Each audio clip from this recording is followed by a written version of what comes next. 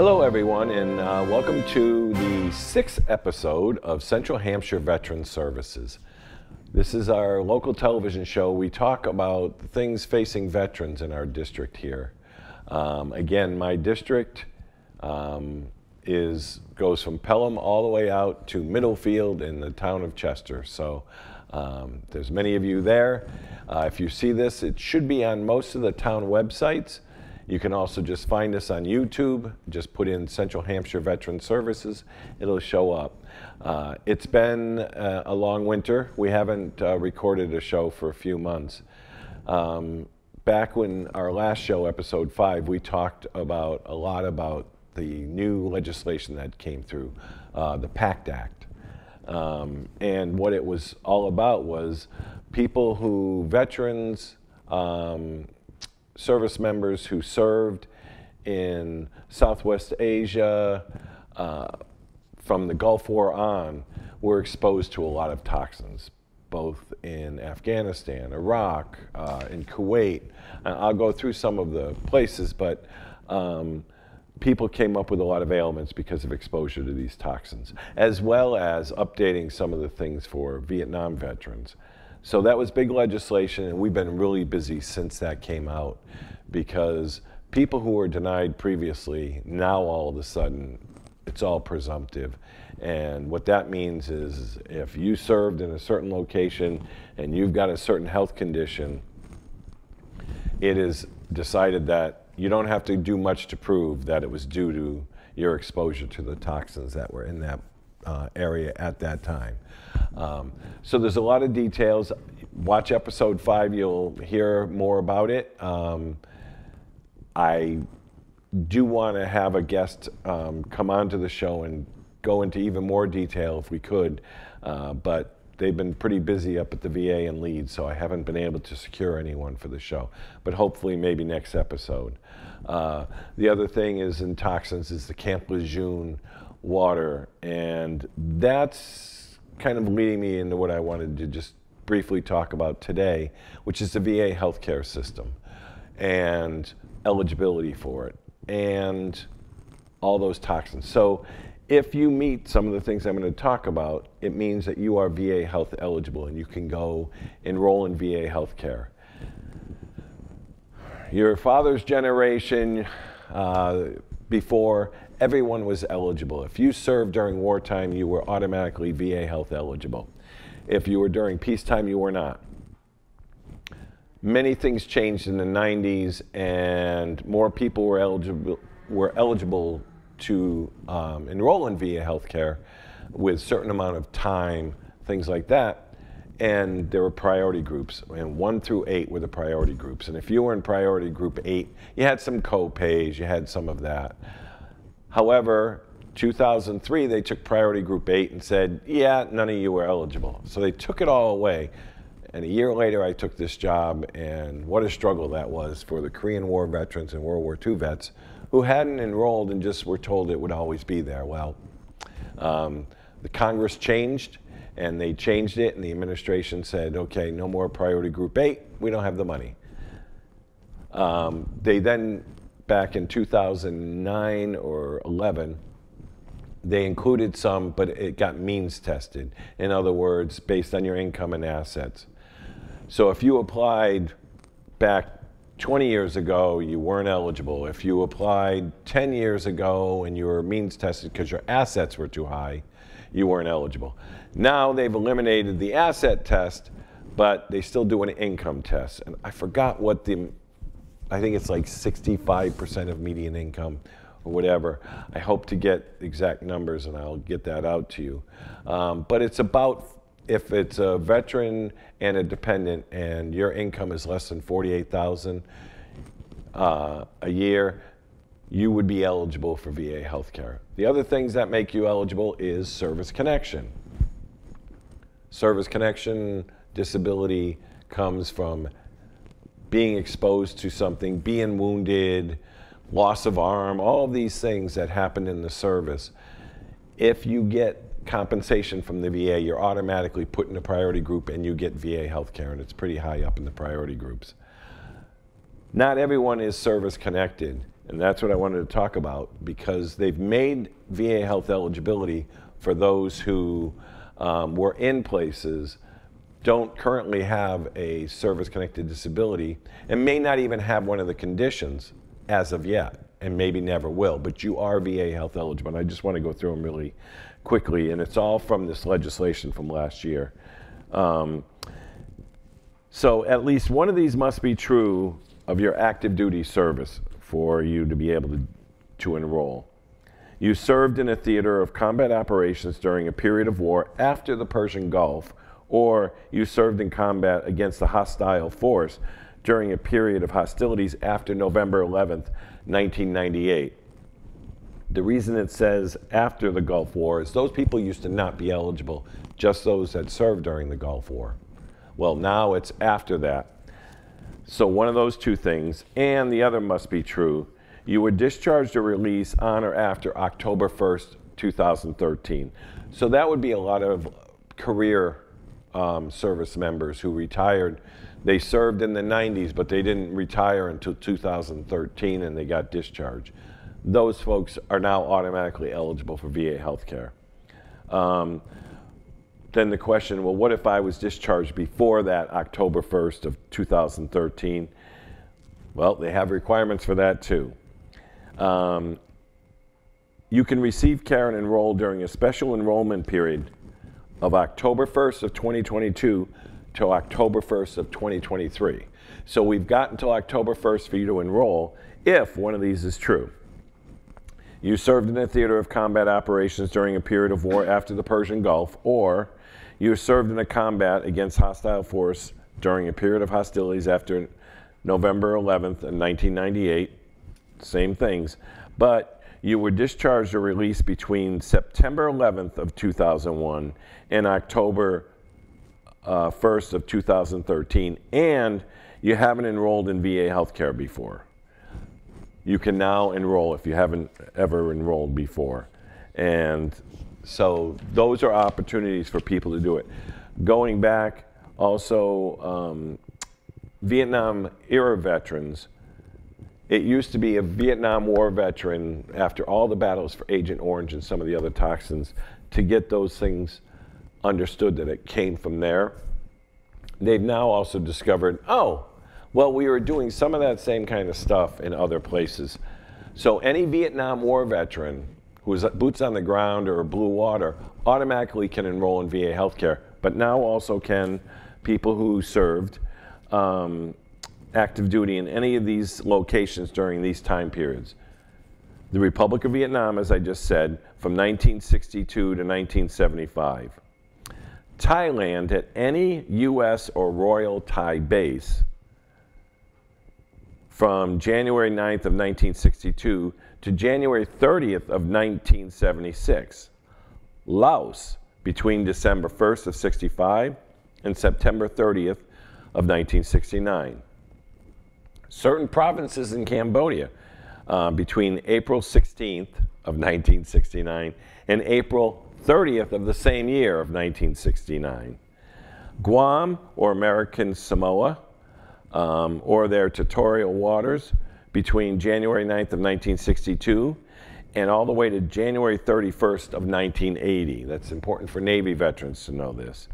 And the Johnston Atoll, or a ship called um, that called um, at Johnston Atoll, Atoll between January 1st of 72 and September 30th of 1977, those five years. So that's just more information if you served during those times and you are automatically now eligible for VA health care. You may never come up with one of the conditions, and let's hope that doesn't happen, but the VA has recognized that you could have been exposed to a lot of things. Same thing with Camp Lejeune water. Even if you are not suffering from one of the service-connected disabilities from that water, if you were there, you are eligible for VA health care. Um, so those are important things. I know people have seen it on the television, on the radio. There's lawyers out there asking you to please join the lawsuit against the U.S. government and uh, the Camp Lejeune water. If you were a civilian who served down there, that's your that's your best way of getting some compensation for being exposed. If you are a veteran and you have a, a, a cancer that was caused by that or any of the other things that are possible, you could go for the lawsuit, but you're much better off, in my opinion, and I think most would tell you, filing a claim for disability with the VA compensation. It's quick, you will get it, it'll be a monthly income, you'll enroll in VA healthcare, and your family will be protected um, if any of those conditions could cause your death. Um, so if you do the lawsuit, that's going to take, as the court systems do, that could be 10, 12 years before that's ever even decided. And mind you, whatever you win from that, they're going to take a cut up to 40%, um, would go to the, to the lawyers who did the case. Plus, if you had any of those conditions and you got treated in a hospital, the insurance company that paid for your care in that hospital can come back to you and say, oh, well, we paid for this and now you want a lawsuit, so you owe us that money back. So uh, you might want to think twice about doing it as a, if you are a military person, if you served and are a veteran, and it was in Camp Lejeune, you might want to think twice about going after the lawsuit and rather just go to compensation with the VA. That's what I wanted to make sure I updated everybody on from my last show, um, all those disability claims, but this is saying that you are VA health eligible even if you don't have any of those conditions at this time. If you serve there, you can go up there. It's real easy. You can contact us at the office and we will help you apply for um, VA health.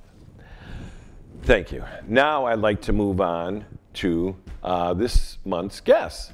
Um, many years ago, I was working in the office and I was approached by a reverend of the Episcopal Church who did a lot of outside, um, uh, what, what's the word I'm looking for? Uh, ministry. Thank you. And his uh, well i'll let him tell you how it kind of came to but he came and met me and we had kind of meeting of the minds. Um, he's also my doppelganger is that what they call those? Yeah. Um, i know because i'll walk down main street and people go hey reverend chris and i'll go who? Nobody's ever called me a reverend before but i know who they're speaking of so um, our show highlighting today is um, building bridges veterans initiative and it is about what we've done for years now, um, providing a, a, an opportunity for veterans to get together. And I'm going to turn it over to Chris, who's the director, and the assistant director is Chad Wright. So, um, Chris Carlisle, um, welcome to the show. Thank you, Steve. Thanks yeah. for this opportunity. It's it's really a, a privilege to be able to get uh, the word out about building bridges because it's really been a wonderful ride for me and for Chad um, over these now uh, eight years. Uh, the, believe it or not, that first meeting that you and I had um, was in 2015. My uh, bishop um, was elected and uh, and came into office with a priority um, of, of addressing the needs of veterans and was um, uh, and, and that interest came by way of his having been uh, the rector of an Episcopal church outside the gates of West Point. Um, he had many cadets in the pews, but one of the things that he recognized was that for all um, uh, the cadets out there who are fairly well benefited, what about the millions of veterans who are not? So um, and yeah, and if you think about eight years ago, these wars were just starting. Well, one was wrapping up, the other one was still going on. So right, yeah. So, uh, so he asked me um, uh, what uh, to come up with an idea, and we had several um, uh, ideas that uh, didn't come to fruit because of their expense and, and logistical complications, and so. Um, uh, I had had a lot of experience seeing uh, how magnetic uh, eating was to gathering communities of people uh, and have worked outside of the parish for a long time. So um, I came to you, as you know, and um, asked uh, whether you thought this was an, a good idea, and you said maybe. Um, uh, that you'd had one attempt um, that didn't really work out, and uh, but you you were willing to take the gamble, Steve, and greatly appreciated for that. And so we started the first uh, lunch, a weekly lunch in Northampton the, at the then World War II Club, which was a wonderful um, venue. And uh, for the first several months, saw a pretty slow up uptick. Um, of just a handful of veterans, and then suddenly, when we hit the threshold of 30 or so, um, it really took off. Um, I, I, I, always remember about that uh, because I tell the story of you know, the first week that we had it, um, you and Allie were down there with a couple of volunteers, and I was cooking because I knew the kitchen and I was trained and stuff. And we had one veteran show up. And the following week, I remember Allie calling me up going, um, Steve, are, are we having the lunch today? We're all down here. And I went, I forgot all about it. And that same vet showed up and I didn't have lunch. And I think I ran and got pizza or something. but, and then, yeah, then it really grew a little bit after well, that and after that. Yep. So by contrast, now we have, I believe, 13, uh, 13 sites across Massachusetts as far east as Swansea. Um, we've got two out of state, one in Keene, one in Brattleboro, with um, with probably several more uh, happening, including one in, in Rhode Island in the spring. Um, and we're seeing 800 to 1,000 veterans a month. Uh, so it's a it's a it's really been a wonderful and, and gratifying experience. But essentially, uh, our mission is to address uh, veteran uh, social isolation, depression, suicide risk. Uh, and so the, um, the invitation is always uh, to a veteran and a guest or family member, um, recognizing how important friends and families are to, to the um, wholeness and, and, and health of, of veterans. Um, and it's really been, uh, we think, and we've, uh, well, on the basis of, of surveys that we've taken, we, we have seen what an impact uh, Building Bridges um, as an initiative has had on on our population, and, and again, very very gratified by it. Um, and uh, and the idea is essentially um, to formulate um, these sites, form these sites, um, provide a good uh, meal, either a breakfast, a lunch, or din- a dinner, um, and then to really get out of the way, allow veterans to um, to be comrades and to and to experience the healing between between uh, between themselves, between veterans. And uh, well, an important part of that is, you know, there was a big realization six seven years ago. Um, I that's when it really came out into the public of 22 veterans were committing a suicide per day in this country and people were like, oh my God, that was so much higher than the normal rate. And so people were talking about addressing it. And that was, you know, I mean, we knew it 15 years ago, um, but, you know, it really became known to the public. And that was about the same time you were doing the lunch. And it met it really perfectly. Now, working in the field, the national government, through the VA, has realized that it's an important thing that's happening and, and trying to address, you know, veteran suicide. And they've been throwing money at it. And there's different people running around working. But I don't think it's rocket science. I think it's what you guys created, which is camaraderie. Veterans like to hang out with other veterans, share some stories, and sometimes have stories nothing about their service, but just there's a trust, there's a camaraderie. Yeah, I mean, we sometimes joke uh, uh, about um, how embarrassingly simple the the formula is, which is to simply get out of the way and allow veterans uh, to engage in healing amongst themselves. Jonathan Shay, who is a sort of leading uh, psychologist in uh, veteran health uh, from Harvard, who's actually since moved out to the western part of the state um, uh, has done enormous amounts of research and therapy with veterans. And he says just this He said, you know, uh, as, as equipped as we think we are as psychotherapists and researchers and so on, uh, the, the real genius in the process of healing uh, for veterans resides with the veterans themselves. And I think we've, we've found that, right? Right. it's definitely every, we don't want to say every meal is like group therapy, but there is something about having the numbers there um, as a support system, um, a, a, network for veterans. Um, I think within the next month, we're going to hit our 80,000th meal served. Um, and so that says a lot. You know, I'm, I'm all about the numbers, and you know, if, especially the 22 veterans a day that you know commit suicide. So, you know, our formula works. Um, we're trying to overall improve uh, veterans' mental health and wholeness. Um, just like Reverend Chris said, um, you know, just uh, creating an environment, you know, producing a, a hot, fresh meal, um, and getting out of the way. Um, it really works. Well, and I'm always struck because you know I really loved what we were we had created down at the World War II Club, and then COVID hit, and that place had closed, and and it's now a cheese factory of some sort. I, I'm not sure, um, but you know, COVID hit, and you guys went through the. I, I, remember you were serving lunches for people to drive up and get them, and and even that worked in some ways because at one time you were getting picked up at the Gazette and I remember one guy stopping and saying, Hey, did such and such come through for lunch? And Ed said, Yeah, yeah, he was through. Oh, all right, I hadn't heard from him. So they were always checking on each other, even if it was just through a drive through lunch. That, that's how strong the network became.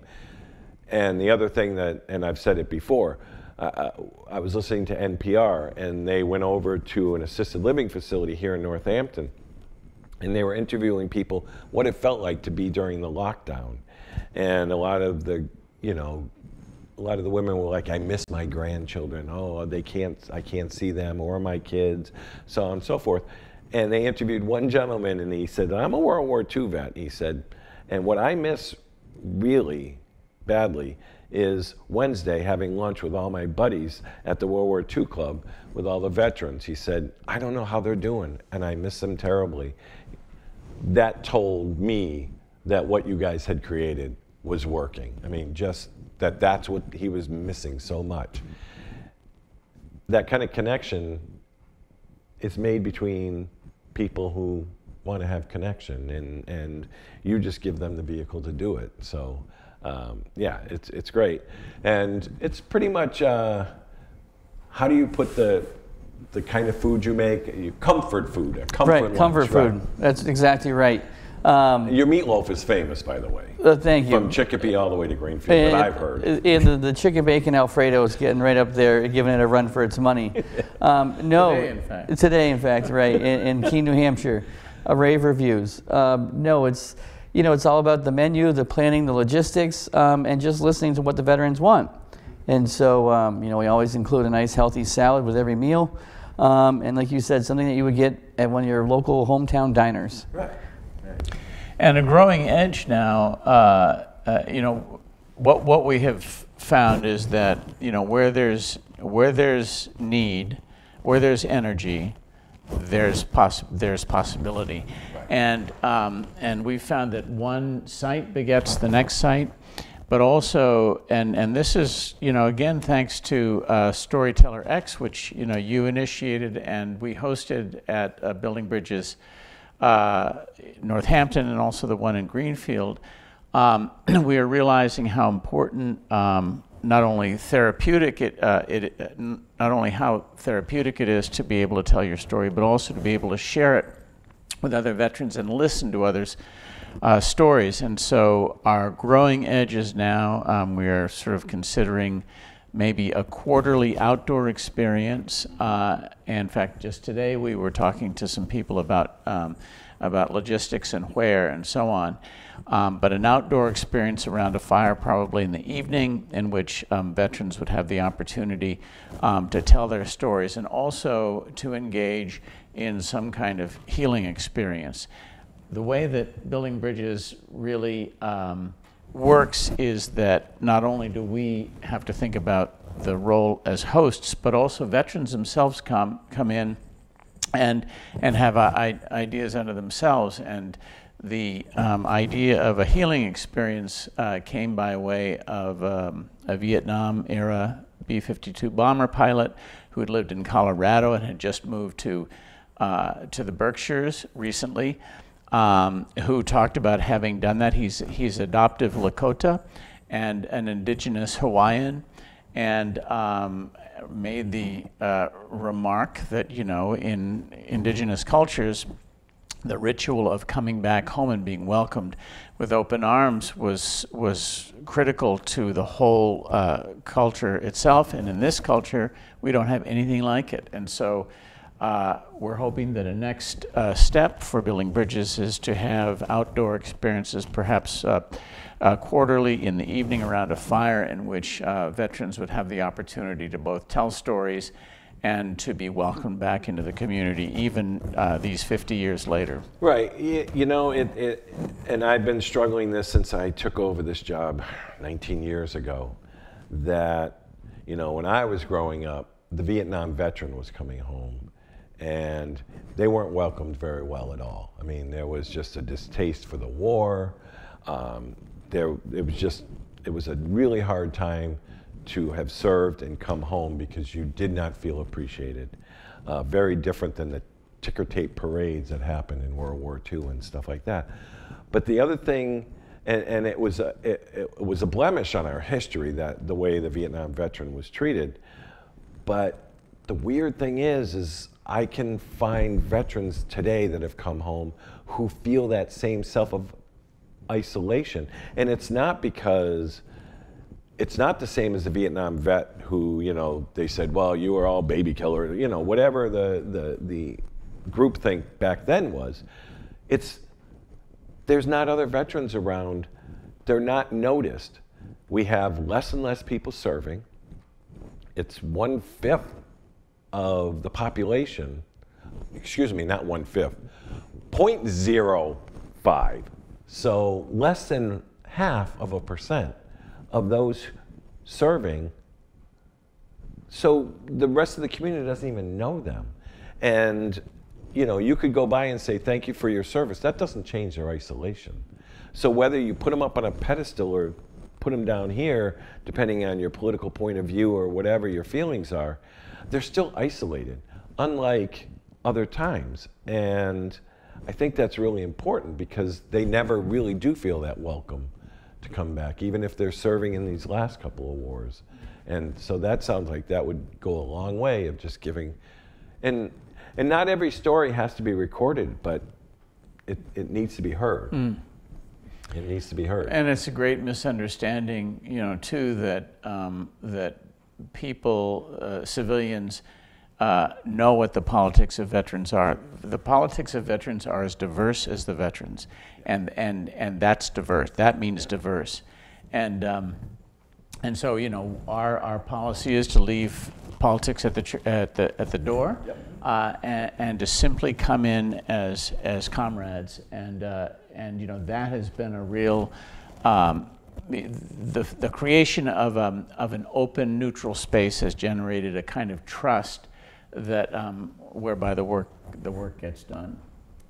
It's definitely where the rubber meets the road. You come to a meal, and um, definitely spirits are definitely lifted.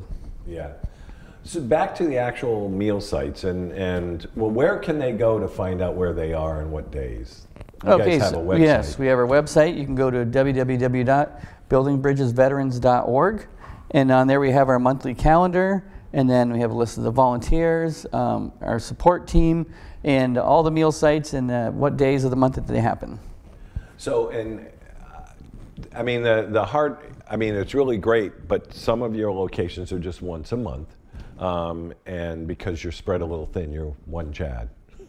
But um, we used to have it weekly in Northampton. When the World War II closed, it, it went to twice a month and it's the first and third Wednesday, correct? First and third Wednesday of yeah. every month at the uh, Spare Time Bowling Alley in Northampton. So veterans can come out, get a hot, fresh, healthy home cooked meal, and then do some free bowling after. There you go, and then they can go to their chiropractor after. No, but yeah, so that's really good news because I know I've been around town and people are like, "Well, where is it now?" So it is at the bowling alley. It is twice a month. Um, and, it's a growing. It's a uh, it, it, after after you know sort of uh, tapering off during uh, the pandemic. Um, we were thinking, geez, is it going to come back? And and just last week it came back with a, a wonderful vengeance. Very, yes, very vibrant. Yeah, and uh, I was talking with some folks up at the VA. There's a with the women's program, they're interested in coming down as well. So that'll be great.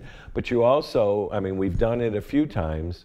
Um, we're going to come back in March with our um, our brunch, correct? Yeah. So um, that started this last fall, right? That's right for the LGBTQ plus uh, community um, specifically, but all veterans are welcome um, at the Majestic uh, Restaurant in downtown Northampton Sunday morning mm-hmm. 10 to 12, and yep. Chad is Chad is doing a pretty uh, impressive uh, spread breakfast. A brunch. Yep. Yep. The, yeah. the third Sunday of every month, come down to the Majestic, and um, it's the same as uh, the prerequisite. The same as every one of our sites. Just bring yourself, or bring yourself and a guest, and, and come and enjoy the atmosphere and be part of it.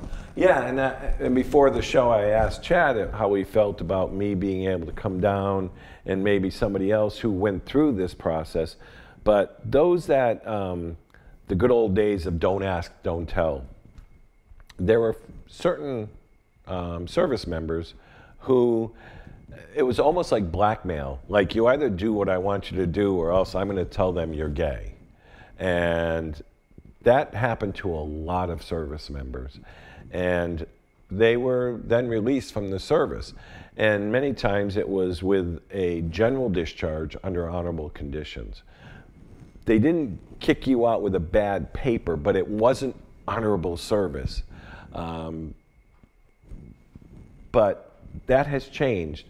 And now anybody can serve. I mean, there some limitations were put back on. But all those people who had that put on their discharges, their DD 214s is what they're called, um, they can all have that changed it all will come back and it'll say honorable discharge and they'll get rid of this whole, you know, description that you're a bad person because you were gay. And uh, so I, I would like to go to the brunch in March and talk to anybody who wants to talk about it. I will bring a veteran who also this happened to, and she was able to get hers overturned. It's a, it's a, it's an not very difficult process at all, and our office will help with that. So hopefully, if you guys will let us, uh, be, I'd like to make that a. We'd love it. And I know that there's different ones, whether it was Northampton or up in Greenfield, that every once in a while you let people just come and talk about what's happening in the veteran world and what they do working with veterans. But that doesn't happen at every lunch. I mean, right? That can happen.